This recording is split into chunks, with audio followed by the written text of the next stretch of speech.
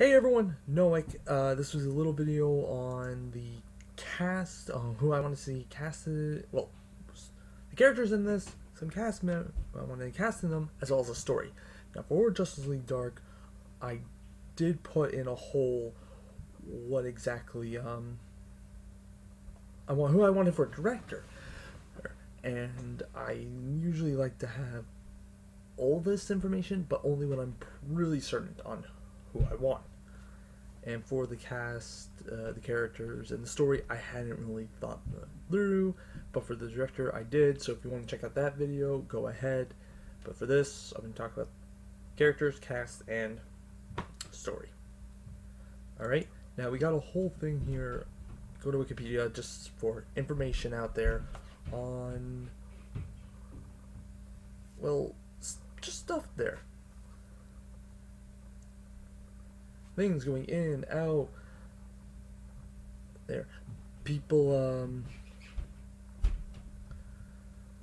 Like, it, it, seems to be going there. We have some people who were writing it, then it seems to get thrown out. Other people who are writing, and then directors, producers, all going. Uh, now, the, and this isn't like, oh, this film's dead. This happens with films all the time. But it's just the general thing that people want to get across, and since they released the Justice League like animated movie, this probably gets an idea also. Oh, what do people want to see in that? So let's go by what exactly characters I want to see with John Constantine. Oh man, this thing's lagging. Uh, I'm not liking this lag. Not liking it at all. Just go on. Anyways, John Constantine. There we go he's the general leader of the team. Uh, he's not the most powerful, but it's like his wit and the charm he has is what makes him this role. Now to play him, uh, do I even have to say it? Do I even have to say who we all want to play him? Matt, Ry- you know, computer, you gotta not lag on me, please.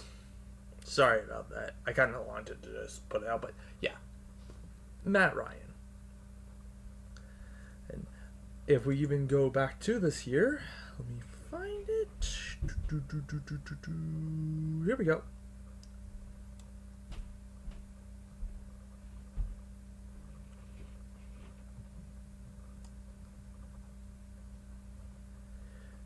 So here's the, the writing for it. That was kind of like the name being thrown around there.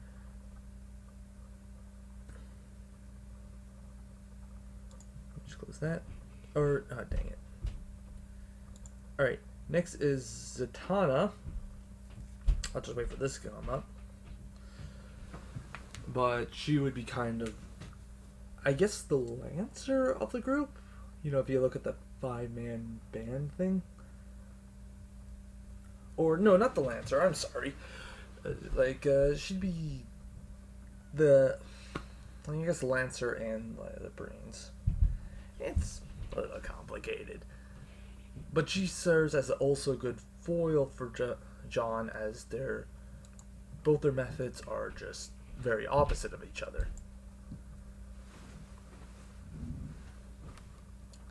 He's a more quick on your feet like thing guy who usually uses only magic in order to where who picked up magic and added it on to kind of his con artist thing she's already magically gifted, but much more straightforward. She's old. She really sees a lot of black and white. He sees just gray. Or that the whole world is just black, and it's what you do with that. Anyways, for her, uh, Lacey Chabert, and I kind of actually do need this one to be fully up. Chapter. Alright. Oh. Now, there's a specific reason why, and once it's up, I will show. Oh, but for her, she was has actually voiced Zatanna in a number of DC things. I think it's three. I know she was Young Justice. She voiced her there. She also voiced her for the Injustice games. And there could have been a third but I'm not 100% positive, so I just want to go to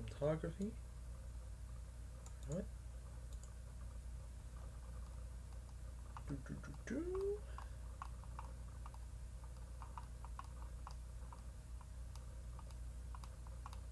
Right. So there he is. She was her for Young Justice.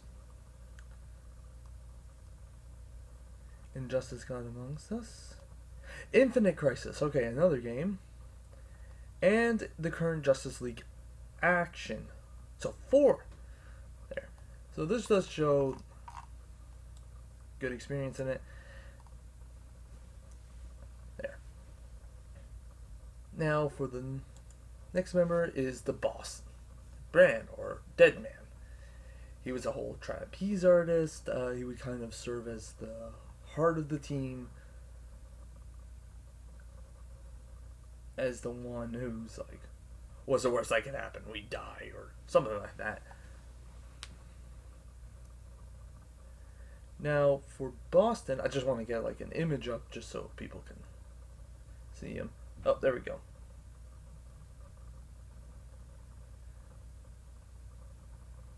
Now, for Boston, what I'm thinking for him would be good would be a Wahlberg. Oh, dang it. Let me just back quickly. There we go. And I'm honestly thinking Donnie, from what I've seen between him and Mark, Donnie is much more forward in it. If you've ever seen like the red Oni blue uh, Oni trope, Donnie is much more of a red, so he's much more forward. I can see a bit more up and Adam personality, which you need more for Deadman. So, an up and Adam Boston experience. That's Donnie Wahlberg. So that's who I want for Boston Deadman. Next, Etrigan the Demon. Now, as well as, of course, his better half, Jason Blood. Uh, Jason Blood. Now, usually the most thing we get from Jason Blood is he is a knight who. It's working just fine. Anyways, Jason Blood is a knight who betrayed King Arthur. That seems to be the general thing. Now, if you look at the. Oh my god, it's working fine. Wait. Sorry about that. Anyways, Jason Blood was a knight who betrayed King Arthur in the Camelot times. That is the general story that we have. It seems to be in pretty much all the comics interpretations. The only time I've seen it not be it was in the actual animated Justice League. Just, fuck it, it's not working. Why? I don't know. Anyways, Charles Dance. Uh, if you know, as he can incorporate both intimidating, uh, very also proud of himself. He's, as it says here, far as the bureaucrats are villains, which is kind of the personality you need for Jason, but he isn't. He is a hero. Anyways, he was a knight. So Jason Blood was a knight who usually betrays King Arthur. The only time I didn't really see this is in the whole Justice League Dark animated, so I don't know if they would change that up.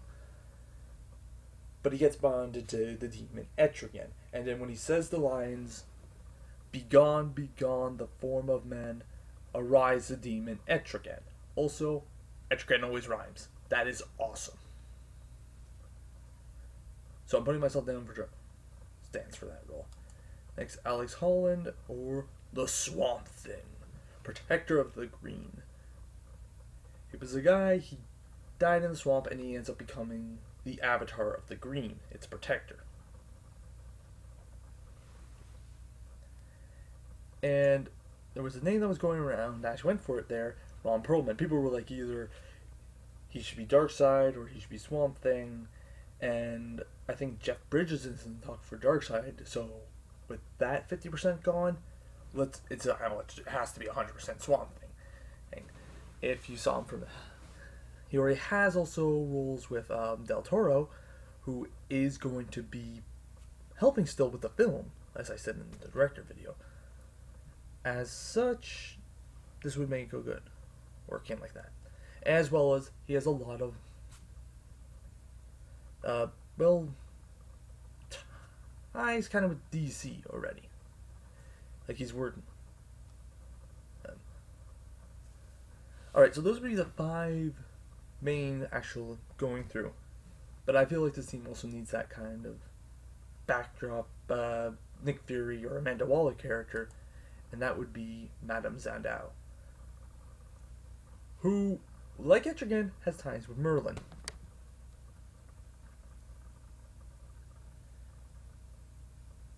And I'm going to keep up, and with her, Indra Varma, who, like, Etrigan will be played by someone who was in Game of Thrones. but I felt that that was good. Now, the only one I have not thought of an actor for, I'm sorry, I just got the read.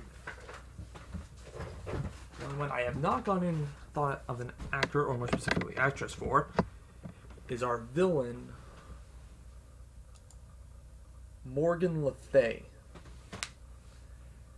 Now here, let me just go here. She's actually sisters with Madame Xanadu, so this would work out good, as they have one more sister. Vin- I can't pronounce that there, and I'm not gonna risk licking that. Ugh, whatever. Anyways, Morgan Le Fay.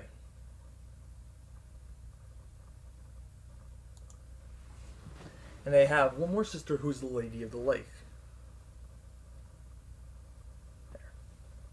Now, her I have not actually thought of, but a British actress. I'm pretty sure there's one out there who's good. I can't.